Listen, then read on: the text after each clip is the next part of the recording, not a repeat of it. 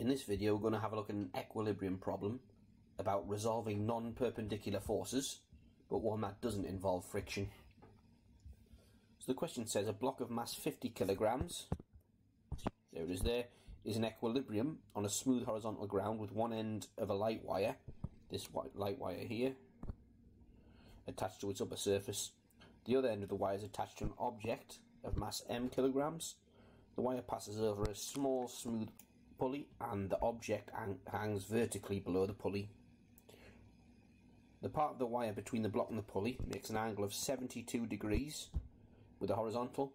A horizontal force of magnitude x newtons acts on the block in the vertical plane containing the wire. See the diagram. So basically all that text there is just describe the diagram and usually you'll find that's the case.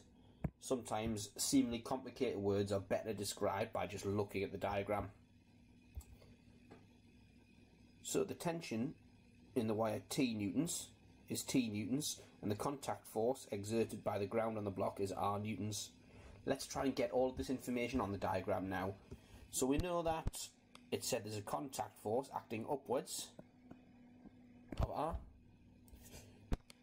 We also know the particle has a weight of 50 G, 50 times 9.8, and the tension in the wire is T. So from the block's point of view, the tension's pulling it upwards. From the particle's point of view, the tension's pulling it upwards again. So we've now got all the forces on the diagram. Let's have a look at the question. So it says, by resolving forces on the block vertically, find the relationship between T and R. Okay, so part A. So we're taking vertically to be our positive direction.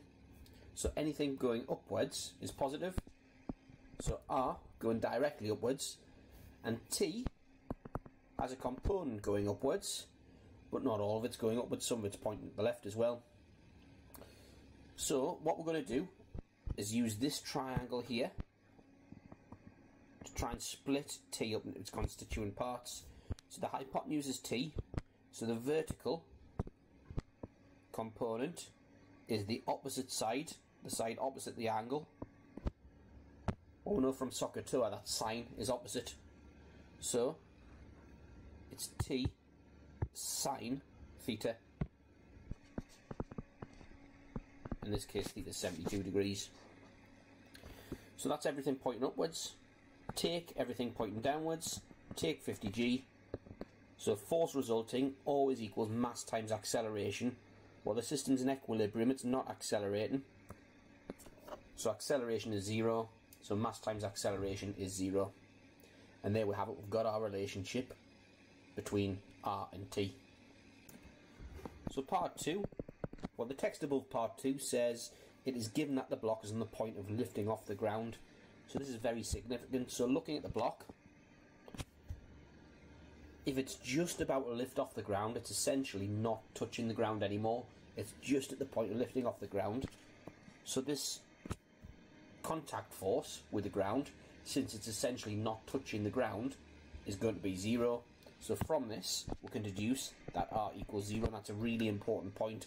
If it's a, at the point of lifting off the ground, it's not quite touching the ground anymore, therefore the ground doesn't exert, exert a reactive contact force on it. So now it says show that t was 515. Well, if we take the equation above, now that r is equal to 0, this equation, equation reduces to t sine 72 equals 50g, which means that t equals 50g over sine 72 equals, put in the calculator, 50g divided by sine 72 is 515, which is what we're asked to show. 515 to three significant figures. So now finding the value of m. So we're going to resolve for the particle. Resolve for particle. So I'm going to take up to be our positive direction again. So going upward, we've got t take. And it's at this point I realise that I've actually forgotten to put the weight of the particle in the diagram.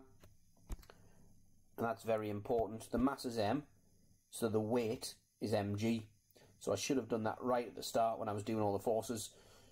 So going back to resolving t, all the forces going up, take mg equals mass times acceleration. It's not accelerating, so it's equal to zero, which means that 515 equals 9.8 m, which means that m equals 515 over 9.8, which is equal to, so 515 divided by 9.8 equals 52.6 to three significant figures.